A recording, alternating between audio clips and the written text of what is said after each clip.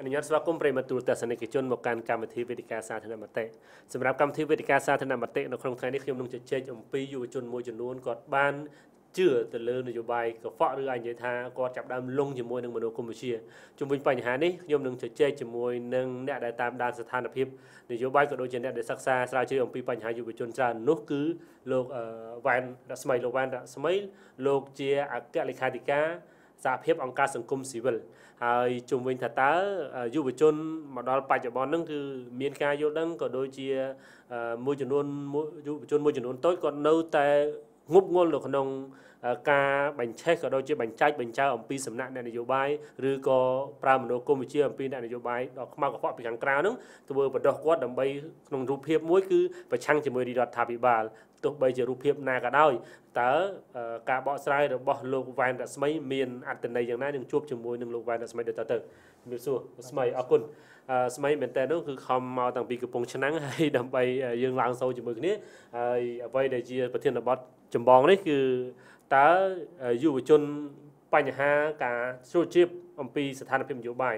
សម្រាប់ស្មីមើលឃើញយ៉ាងម៉េចដែរចំពោះទំនោរនយោបាយរបស់យុវជននៅពេលបច្ចុប្បន្ននេះ បាទសូមជម្រាបសួរទៅដល់ប្រិមិត្តទស្សនិកជនដែលនិយមគ្រប់គ្រងបណ្ដាញសារព័ត៌មាន Sweet News បាទថ្ងៃនេះពិតជាមានសេចក្តីសំណរីករាយក្រៃលែងដែលបានបបងផ្ដល់កិត្តិយសក្នុងការ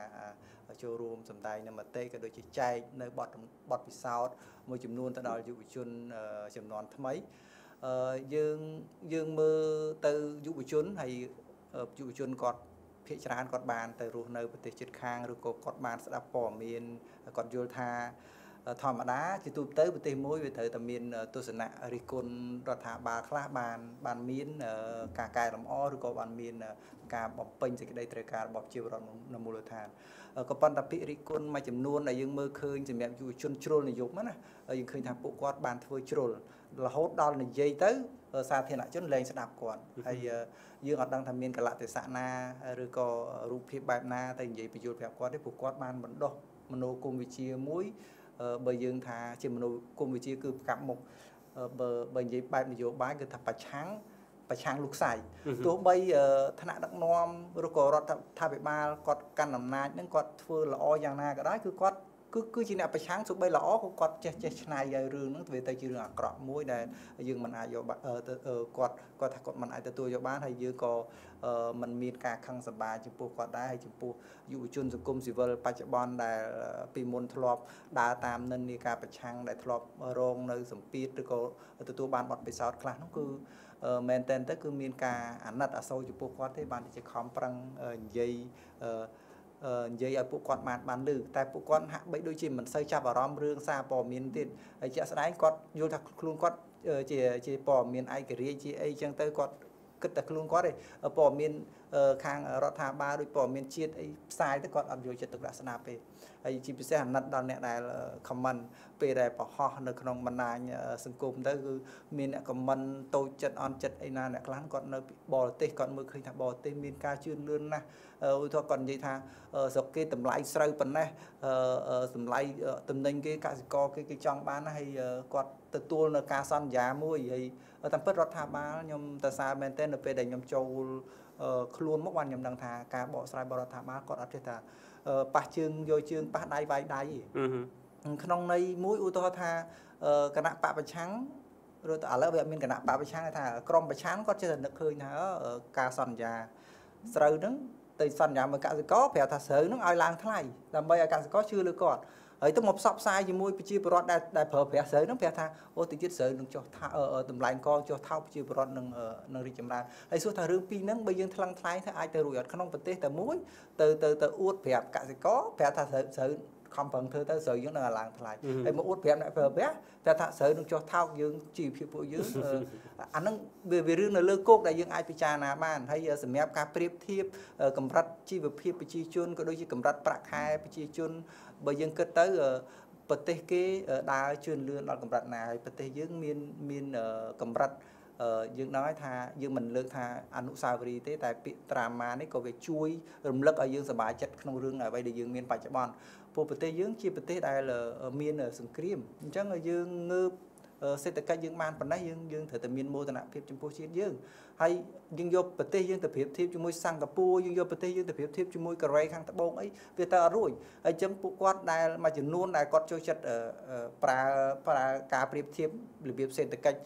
មួយគឺគាត់ថារដ្ឋាភិបាលកម្ពុជាយើងវាដើរអត់តាន់គេប្រកបណាស់គឺដើរអត់តាន់តែអ្វីដែលយើងយល់ថាវាជាភាពរីកចម្រើនយើងសម្លឹងមើលពីអាណត្តិចុងក្រោយនេះ តើអ្វីដែលមានការផ្លាស់ប្ដូរខ្លាំងហើយរាល់អាណត្តិដែលមានការចូលរួមពីបកប្រឆាំងក្នុងរដ្ឋាភិបាលតើរដ្ឋាភិបាលមួយណាមានភាពរីកចម្រើនជាងហើយភាពជ្រុលនិយមរបស់គាត់នឹងទៀតសោតគឺហាក់បីដូចជាមានគំនុំបើនិយាយមែនតើនឹងមានគំនុំទាំងពីរជាតិណាមកគឺគាត់ឃើញអីគឺគាត់ចេះតែគិតថាអើយរដ្ឋាភិបាលមិនមិនមិនសមចិត្តជាមួយគាត់វាអាចដែរកន្លងមកគឺខ្ញុំសង្កេតឃើញ យុវជនមួយចំនួនហ្នឹងគឺគាត់រងសម្ពាធដោយថាគ្រួសារគាត់ធ្លាប់រងផលប៉ះពាល់ឧទាហរណ៍ថាពីមុនមកអញ្ចឹងនៅក្នុងការអភិវឌ្ឍអីប៉ះពាល់ផ្ទះគាត់អញ្ចឹងទៅគាត់មានការឈឺចាប់ហើយមនុស្សយើងធម្មតាទេតែប៉ះពាល់ខ្លួនឯងមានការឈឺចាប់ហើយក៏អត់ស្រឡឹងមើលថាការប៉ះពាល់បែបអភិវឌ្ឍឧទាហរណ៍ថាផ្ទះគាត់នៅជាប់ផ្លូវហើយការអភិវឌ្ឍផ្លូវទៅប៉ះផ្ទះគាត់ហើយគាត់យកអាការឈឺចាប់នៃការប៉ះផ្ទះគាត់ឬក៏គាត់តំបន់អភិវឌ្ឍមួយដែលប៉ះគ្រួសារគាត់ដែលមានសំណងមួយដែលគាត់មិនចង់ទទួលយកគាត់យករឿងនោះគឺជាគំនុំមួយជីវិតមកក្នុងក្នុងក្នុងការអប់រំរបស់ពុទ្ធសាសនាគាត់ថាសូមកុំចាំរាល់ទុកកង្វល់ទាំងអស់ហ្នឹងមនុស្សដែលអោបដេកអោបទុកណាថាមនុស្សឆាប់នាំទុកខ្លួនឯងនោះកាលណាក៏នឹកឃើញតែរឿងទុកដែរហើយពួកគាត់នឹងមានតែរឿងក្រោតគ្រៀតរាល់ថ្ងៃហើយក្នុងនេះដែរខ្ញុំក៏សូមចែកម្លែកបទពិសោធន៍ ខ្លួនឯងទៅដល់បងប្អូនយុវជនចំនួនចំនួនថ្មីហើយបច្ចុប្បន្ននេះយើងដឹងហើយថាសម័យបច្ចេកវិទ្យាដោយសារបរិបត្តិ Covid ធ្វើឲ្យកម្ពុជាយើងមានការរីកចម្រើនផ្នែក Digital ដើរលឿនទៅមុនមួយកម្រិតដោយសារអីដោយសារ Covid គឺ បានបង្រៀនឲ្យប្រជាពលរដ្ឋគាត់ចាប់ផ្ដើមប្រើប្រព័ន្ធព័ត៌មាន digital ហើយស្របនឹងបរិវត្តឧស្សាហកម្ម4.0ហ្នឹងគឺសារព័ត៌មានមានសារៈសំខាន់ហើយអញ្ចឹងចំពោះការចូលរួមថ្ងៃនេះគឺចង់ចែកម្លែកបទពិសោធន៍ថាកន្លងមកហ្នឹងថាខ្ញុំនិងយុវជនគ្នាខ្ញុំមួយចំនួនហ្នឹងមិនបានជ្រុលខ្លួនជាមួយនឹងនិន្នាការប្រឆាំងហើយបន្ទាប់ពីចូលមកដើរគោលការណ៍ស្របហ្នឹងវាមានលក្ខណៈពិសេសមិនដែរ ហើយអ្នកខ្លះគេចោទសំណួរថាគេទិញនឹងលក់លក់ក្បាលលក់អដំកតិនឹងគេឲ្យប្រមាណឥឡូវសុំសុំឆ្លើយសំណួរទិញមុនដោយសារអ្នកអ្នកមុនមុនគេជាគេថាគេជាថាអញ្ចឹងថារស្មីត្រូវបានគេទិញគេលក់លក់ខ្លួនលក់អដំកតិតាមពិតមិនមែនទេ និយាយឲ្យមែនតែនថាបច្ចុប្បន្នយើងឃើញថាមានសកម្មជនសំខាន់សំខាន់ដែលគាត់ចូលរួមរដ្ឋាភិបាលមានការតែងតាំងជាទីប្រឹក្សាមានការតែងតាំងជាអនុរដ្ឋលេខាធិការជាអីអាហ្នឹងពួកគាត់មានមានសមត្ថភាពក្នុងការបំពេញការងារហើយគាត់ធ្វើការងារគាត់គាត់បានហើយសម្រាប់ឈ្មោះខ្ញុំគឺអត់អត់មានទេអត់មានតកតងការងារអត់ហ្នឹងហើយគឺថាលក់ដោយរបៀបណាអត់មានលក់ទេខ្ញុំសោះអត់មានថាតម្លៃណាក្នុងការចរចាក្នុងការលក់ សម្រាប់បុត្តមកតិរបស់ខ្ញុំដែលខ្ញុំស្រឡាញ់ដែលខ្ញុំពេញចិត្តក្នុងការធ្វើហ្នឹងគឺបានចូលរួមជាជាអនុស្សាវរីយ៍ជាមួយនឹងការដឹកនាំដ៏ល្អផូរផង់របស់រដ្ឋាភិបាលដែលខ្ញុំពីមុនមកអាចថាផ្សះផ្សាសងទៅពីមុនមកខ្ញុំធ្លាប់ដើរខុសហើយដែលធ្វើឲ្យមានការប៉ះទង្គិចផ្នែកផ្លូវចិត្តខ្លះហើយក៏សូមអរគុណដល់ប្រមុខរដ្ឋាភិបាលដែរគាត់មិនមិនមិនយករឿងនឹងមកសើរើហើយគាត់មិនខឹងសប្បាយយើងដែរអានឹងដូចថាគាត់យល់ថាយើងជាជាក្មេងអានឹងនិយាយថាមានកាលណាយើងមានសុភវិនិច្ឆ័យមុនយើងគេហៅ អឺទូទៅនិយមជាមួយនឹងរដ្ឋាភិបាលមែនទេស្មីបើយើងនិយាយអញ្ចឹងណាបាទដូចដូចមជ្ឈដ្ឋានជុំវិញអញ្ចឹងតែយើងដើរជាមួយអ្នកដែលគាត់មើលតាឃើញវិជ្ជមានហើយដូចគ្មានអ្នកណាមួយបើកជញ្ជាំងឲ្យយើងមើលឃើញភាពវិជ្ជមានទេគឺយើងឃើញអវិជ្ជមានរហូតរដ្ឋាភិបាលគឺអត់ត្រូវចិត្តតែហ្មងអញ្ចឹងមិត្តភ័ក្តិក្រុមការងារគឺ តែមិនឆ្កឹះឆ្កៀលរកតែកន្លែងមិនល្អសម្រាប់ខ្លួនឯងដែលដើរពីមុនមកហើយ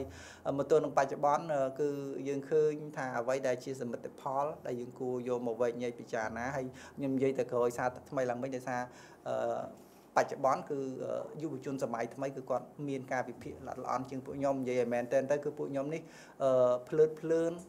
អានសភៅនយោបាយហើយធ្វើទៅតាមសេនាយោរបស់ ក្រមអ្នកនយោបាយទេអញ្ចឹងវាអាចថាការពិចារណាពួកយើងវានៅមានមានកម្រិតហើយបច្ចុប្បន្ននេះដូចខ្ញុំនិយាយអញ្ចឹងថាយុវជនមានអាចស្រាវជ្រាវ research មើលឃើញប្រៀបធៀប កុំមើលឃើញថាពីចិញ្ចាំងមួយពីចំណុចមួយថាប្រទេសគេជឿនលឿនប្រជាពលរដ្ឋគេប៉ុណ្ណេះប៉ុណ្ណេះហើយយើងមើលឲ្យអស់ពិភពលោកគេបង្ហាញមកគេឃើញថាប្រទេសនោះជឿនលឿនល្អទាំងនេះគេបង្ហាញតែមួយជ្រុងមួយតែមានកន្លែងខ្លះប្រទេសប្រទេសគេអន់ជាងស្រុកយើងច្រើនណាស្រុកយើងមែនតែនទៅសេរីប្រជាធិបតេយ្យសេរីភូបកហើយការដឹកនាំតាមរបបសេរីសេដ្ឋកិច្ចសេរីនេះគឺប្រជាពលរដ្ឋសេរីពេកសេរីដល់ថ្នាក់មែនតែនទៅសម្បីតែថៃ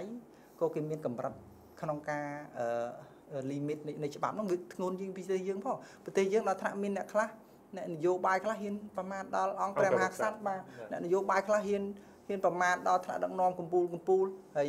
អ្នកខ្លះមិនទាំងអ្នកនយោបាយផងគាត់អ្នកគ្រប់គ្រងតូចតាចក៏ហ៊ានធ្វើចេញសារចេញលិខិតអីអញ្ចឹងមិនថាប្រទេសយើងវាសេរីពេកហើយតែសូមឲ្យលទ្ធិប្រជាធិបតេយ្យដែលសេរីនេះសូមឲ្យបានជាប្រយោជន៍ដល់ប្រជាពលរដ្ឋឲ្យគិតផង មានក្រុមមួយចំនួនដែលគាត់គឺជាក្រុមតាំងខ្លួនថាជាអ្នកសេរីអ្នកប្រជាធិបតេយ្យតែគាត់បែរជាបិទសិទ្ធបិទ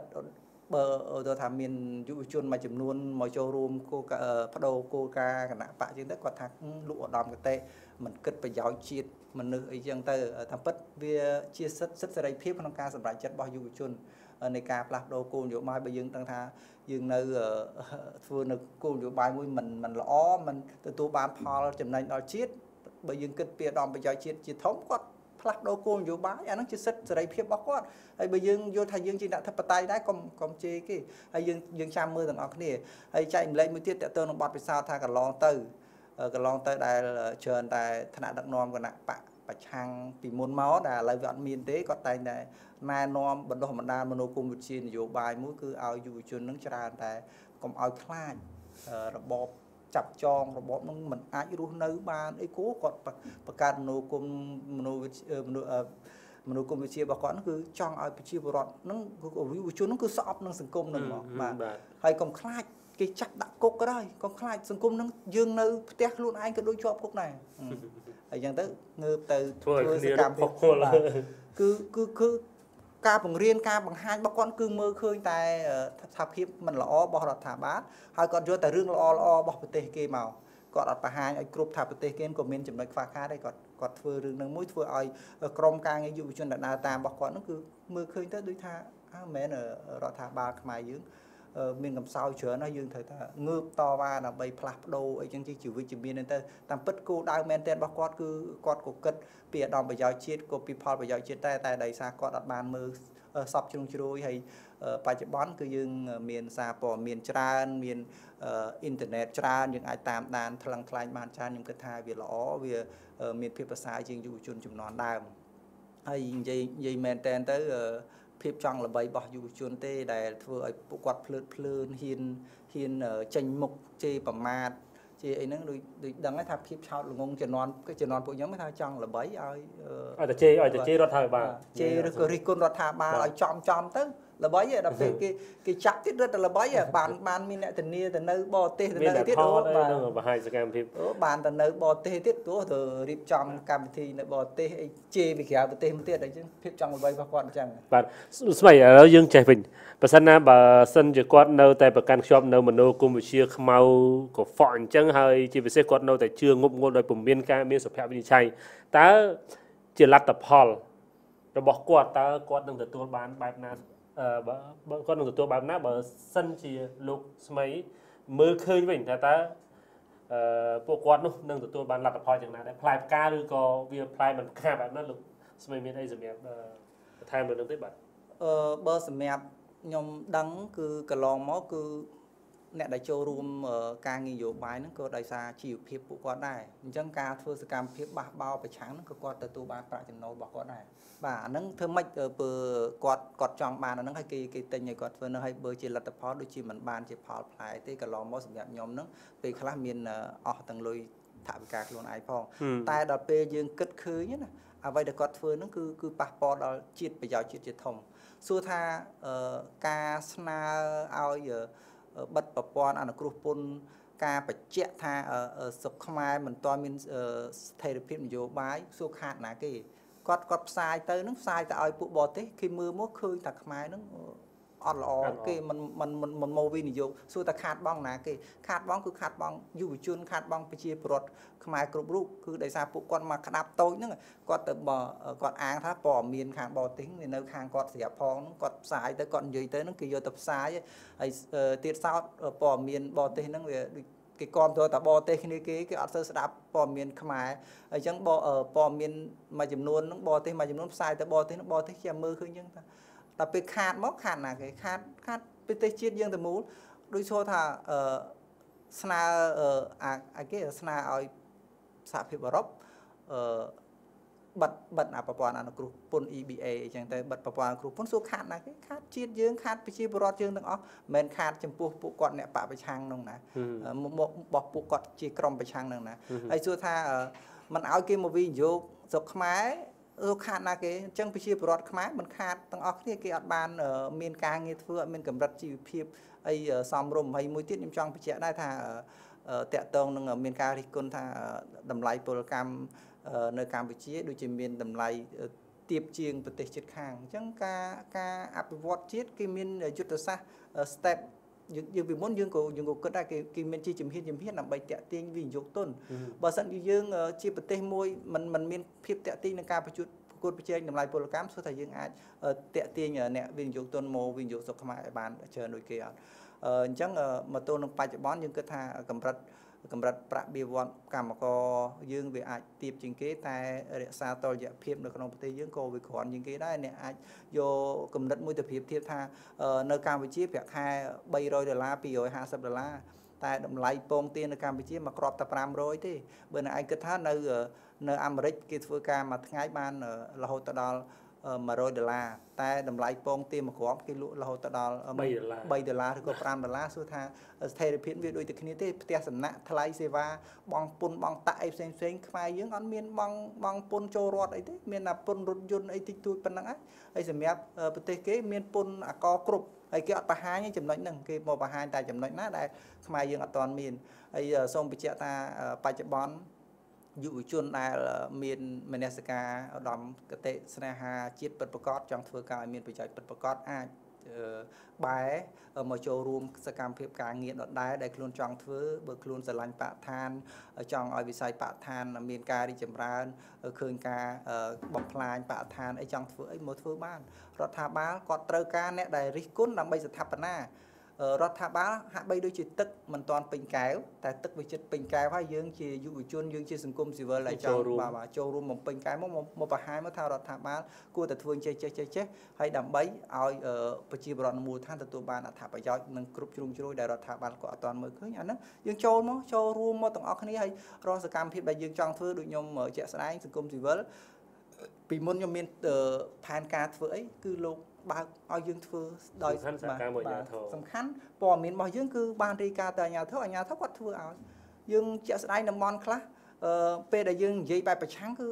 មែនតើទៅរដ្ឋាភិបាលគាត់អត់ចង់អត់ចង់ធ្វើតែពិតគាត់មើលឃើញចំណុចហ្នឹងតែដល់ពេលយើងចេះតែនិយាយរិះគន់វាបហាឥឡូវតែគ្រប់គ្រងអ្នកប្រឆាំងនៅអីផងគាត់គិតថាធ្វើទៅអីធ្វើដើម្បីគ្រប់គ្រងពួកគាត់គាត់ ផ្សព្វផ្សាយឲ្យបកប្រឆាំងដែរអញ្ចឹងវាអត់មានភាពរីកចម្រើនយើងលើកឧទាហរណ៍មើលតំបន់អរ៉ៃ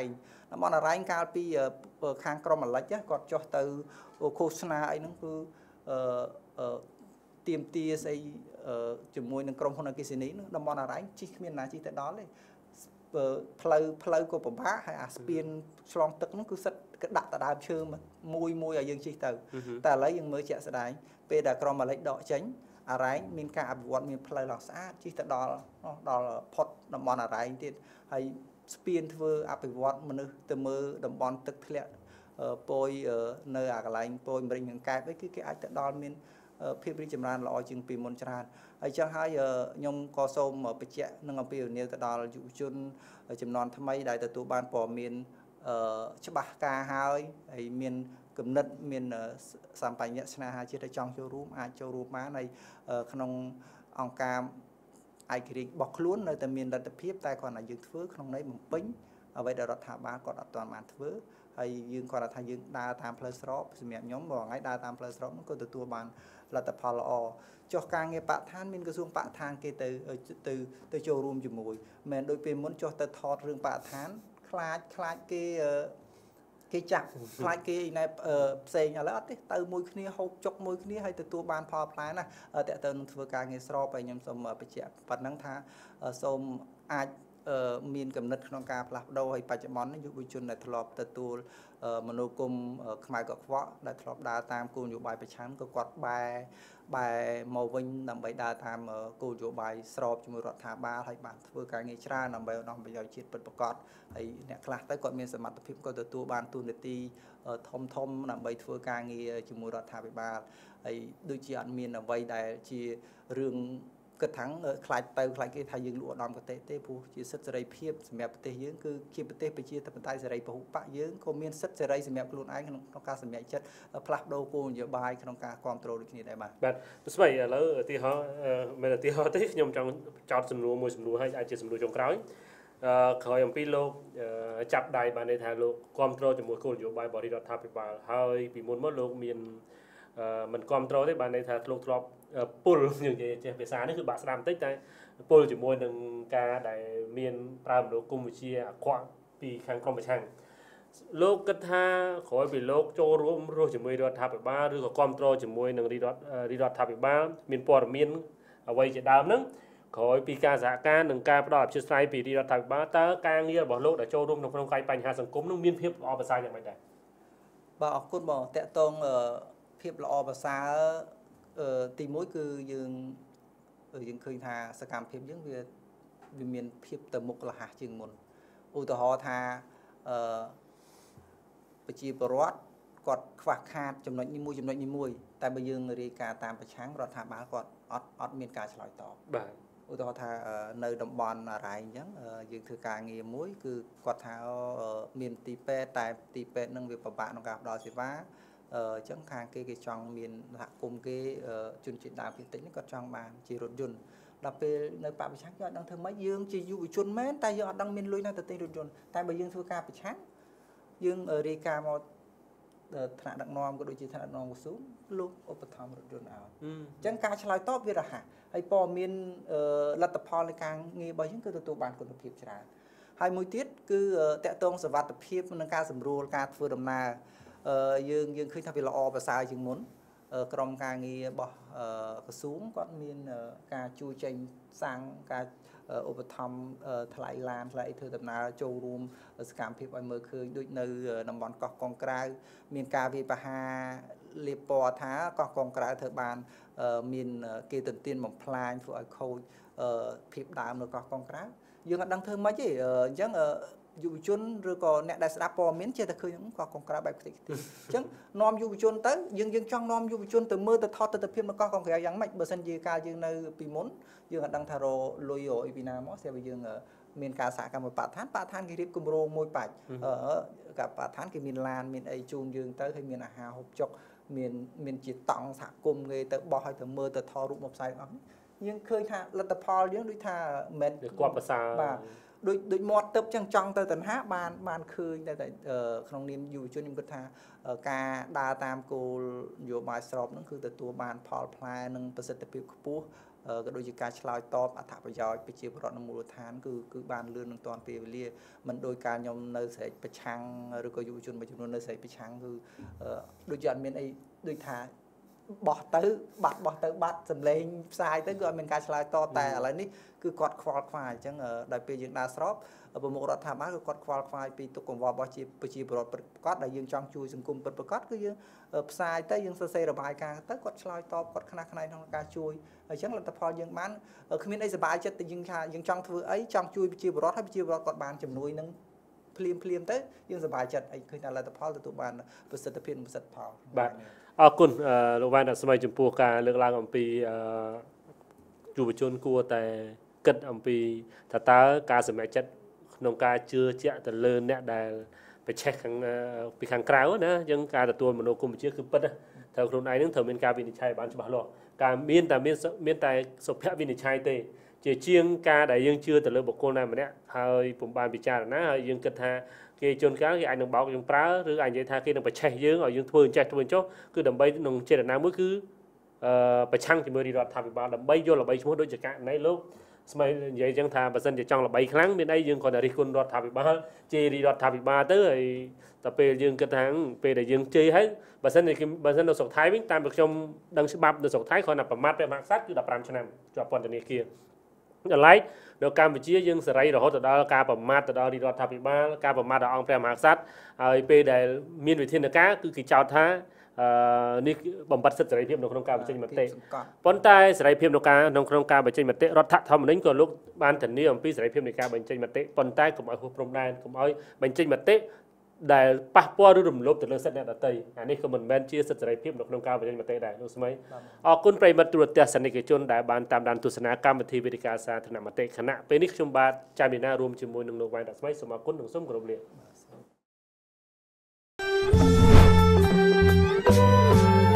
Swift News Best TV ព័ត៌មានក្នុងដៃអ្នក